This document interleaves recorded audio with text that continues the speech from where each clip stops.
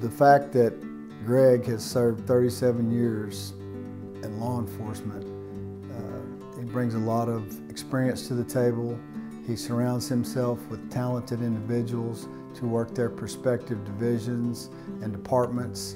And uh, he would never, ever, ever, uh, I could never see him embarrassing the county, doing anything irrational uh, or illogical.